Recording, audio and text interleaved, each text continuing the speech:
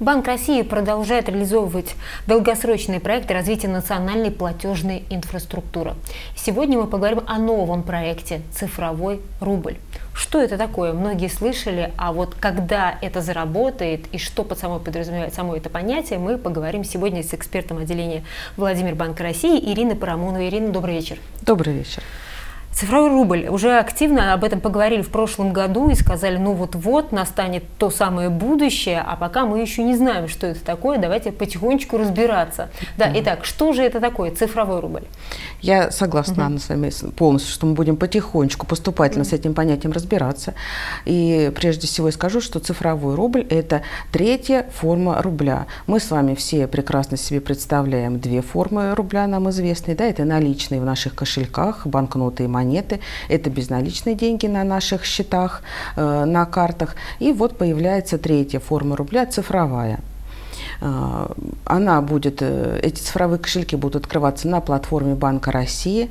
И спешу сразу опровергнуть множество слухов, которые ходят. Да, даже мои родители меня спросили, Ирина, что пенсии теперь будут в цифровых рублях? Нет, это абсолютная неправда. Э, у нас останутся все прежние наши нам знакомые средства платежа. Цифровой рубль ничего не заменяет, ничего не отменяет, он дополняет. Он дополняет форму расчетов цифровую. Тогда почему мы э, говорим о том, что вводится эта система, да, то есть наверняка есть какие-то преимущества наряду с другими формами рубля. Да, есть, конечно же, преимущества. Главное из них – это бесплатные мгновенные переводы, которые сможет человек или компания осуществить в цифровых рублях. Ну, вы скажете, что да, да есть для есть этого онлайн, система да. быстрых платежей, есть наши привычные переводы. А, но здесь, опять же, важно указать на то, что, допустим, э, по переводам э, банки могут брать комиссию, ну, в размере от 1 до 3, например, процентов.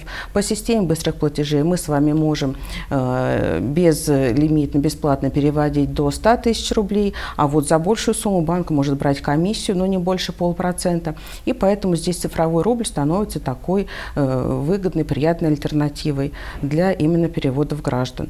Ну и еще один момент, который тоже прорабатывается и, э, возможно, предоставит нам такую Э, приятный бонус – это как оплачивать даже э, покупки без интернета. В таких, например, отдаленных сельских магазинах, где отсутствует интернет, цифровым рублем можно будет расплатиться. Без интернета? Ну да, такой вопрос прорабатывается, да, думаю, все Разве получится. цифровой рубль – это не то же самое, что криптовалюта? Это принципиально разные вещи. Это надо понимать и четко осознавать, что у криптовалюты нет единого эмитента, э, нет э, центра, который бы нес ответственность по этой валюте. А цифровой рубль – это национальное денежное средство, э, это форма национальной валюты, и выпускать цифровые рубли будет Банк России. Уровень защиты платформы, на которой будут открываться цифровые кошельки, осуществляться операции, беспрецедентно высок. Итак, как тогда мы будем пользоваться цифровыми, цифровыми рублями? Ну, такой небольшой алгоритм. Да? Э, для начала нам надо будет открыть цифровой кошелек. Э, когда цифровые рубли станут доступными для массового пользователя, мы с вами все в привычном интерфейсе нашего онлайн-банка, приложения онлайн увидим э, дополнительную иконку «Цифровой рубль». И по нашему желанию тогда с нашего согласия мы сможем перевести деньги со своего счета рублевого на цифровой кошелек. Они появятся, мы увидим их в цифровом кошельке и сможем впоследствии осуществлять операции с цифровыми рублями. Тогда зачем нужен цифровой рубль, если схему, которую вы сейчас описали, очень сравнима с платежами онлайн? Ну, мы с вами сказали, что это будет более выгодно, да, это будет э, без комиссии, это будет мгновенно, но операции, с другой стороны, будут происходить, да, привычным нам способом, то есть мы э, не будем с вами шокированы какими-то новшествами, в то же время механизм привычный, но более удобный, доступный и выгодный, скажем так. Если цифровой рубль – это что-то такое виртуальное, зачем тогда нужно привязывать его к конкретному банку? Банки вообще нужны цифровому рублю? А, ну, во-первых, здесь надо еще сказать, да, какое важное отличие. А, цифровой кошелек у гражданина или у компании будет один, но дотянуться до этих денег, скажем так, в цифровом кошельке можно будет из приложений разных банков. То есть, если mm-hmm. у вас э, несколько онлайн-приложений, да, вы пользуетесь несколькими банками, цифровой кошелек открыли в каком-то условном банке А, то есть банк банка Б и из банка В, не открывая там цифровой кошелек, вы своими деньгами, цифровым рублем тоже сможете воспользоваться. Вот в этом важное удобство. А, И мы остановились да, на том, что это удобно, важно. Э, для доступа к цифровому кошельку у нас с вами еще какие преимущества? То, что мы большинство из нас уже являемся клиентами банка, да, мы этими приложениями владеем, э, поэтому, опять же, нам никакого труда не доставит еще э, воспользоваться удобной э, цифровым рублем, удобным платежом, средством платежа. То есть механика, алгоритмы примерно все те же? Да, примерно все те же, только все-таки, наверное, более выгодно, более удобно. И в то же время, как я сказала, уже не надо открывать это в нескольких банках, да, а в одном банке вы открыли, а пользуетесь уже из любого банка. Какую сумму можно со своего счета банковского перевести а, ну, в электронный кошелек? Мы можем с вами перевести не больше 300 тысяч рублей, при этом сверх этой суммы мы можем дополнительно пере, получать переводы от ну, каких-то знакомых, от родственников и друзей. А, тратить цифровые рубли или переводить их можно без ограничения. Но если смотреть на примере, чтобы стало понятно, допустим, у вас в цифровом кошельке 10 тысяч рублей, а вам надо срочно, скажем, перевести родителям 350 тысяч рублей. А, вы можете э, пополнить кошелек на 300 тысяч рублей, ну 10 тысяч у вас, допустим, с прошлого месяца остались, 300 тысяч вот в этом месяце вы свой используете возможность да, пополнения 300 тысяч. И, например, у вас 310 тысяч, вам надо перевести 350, вам супруг еще докидывает 40 тысяч, и вот ваша сумма без ограничений вы можете перевести родителям эти 350 тысяч рублей. Больше в этом месяце вы сами пополнить кошелек не сможете цифровой, но получать переводы на этот кошелек и переводить с кошелька вы э, сможете. Почему мы сегодня говорим об ограничении в 300 тысяч? Да? Ну, Есть какие-то особенности? Ну, Банк России провел да, тщательный анализ вообще существующих переводов различных, в том числе через систему быстрых платежей, и, и сделал вывод, что востребована в среднем вот такая вот сумма, которая ну, для большинства наших граждан будет удобна э, и, заметьте, она превышает да, переводы, чем по системе быстрых платежей, все-таки в три раза. Там 100 тысяч, а здесь 300 тысяч рублей. Решили, что такая сумма вполне для наших граждан будет комфортна. А вот, например, э, многие сервисы практикуют автоматический платеж. Э, он в цифровом кошельке будет работать?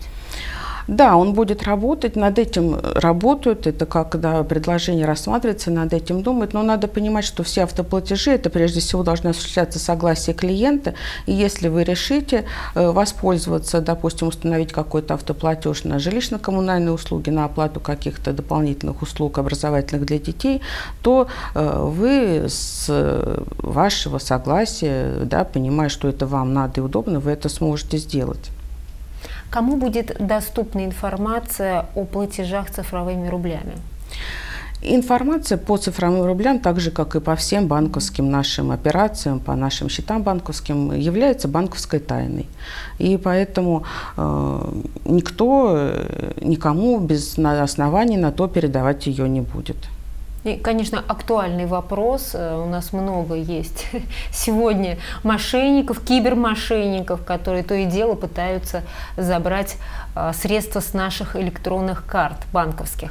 А вот сложно ли украсть э, эти средства с цифрового кошелька? Ну, уже на стадии проектирования и рассмотрения, разработки этого проекта, вниманию безопасности Э, уделялось самое большое внимание именно вопросу безопасности. И меры, которые предпринимает Банк России для защиты платформы, э, как я уже говорила, беспрецедентно высоки. Э, Банк России постоянно находится на страже нашей да, кибербезопасности, на страже финансовой безопасности. Если какие-то появляются новые схемы мошенничества, Банк России готов к этим вызовам.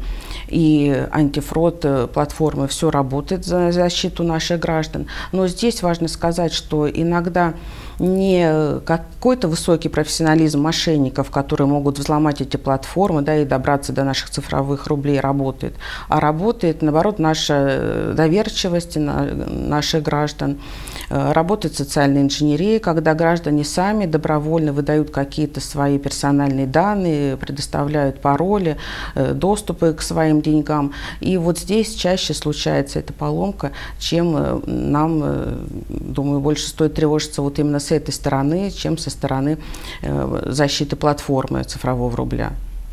Интересно, а, например, вот есть системы, когда ты получаешь на остаток средств процент, вот в цифровом кошельке такое будет? А, в цифровом кошельке такого не будет, потому что цифровой рубль позиционируется не как средство накопления, сбережения, а как средство платежа, как э, одна форма платежа еще.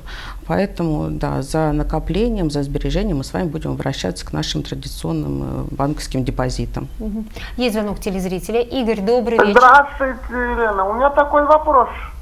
Анна, здравствуйте. здравствуйте Скажите, Игорь. пожалуйста, мне, вот если банк повысил э, ключевую ставку, что может произойти со ставками?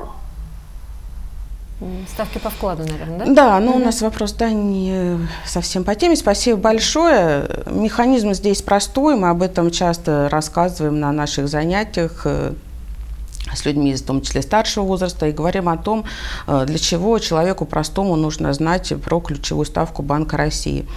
Э, это может служить ориентиром. Когда Банк России повышает ключевую ставку, значит, вслед за этим мы с вами можем ожидать повышения ставок по вкладам и по кредитам. Если Банк России понижает ключевую ставку, то ну, с каким-то временным лагом мы следуем, э, ожидаем э, понижения ставки по депозитам и по кредитам. Вот такой механизм влияния ключевой ставки на инструменты. Угу. Ну, кстати, про наши депозиты. Ведь для того, чтобы а, стимулировать граждан открыть тот или иной э, вклад, всегда банки ограничивают нас в этих строках.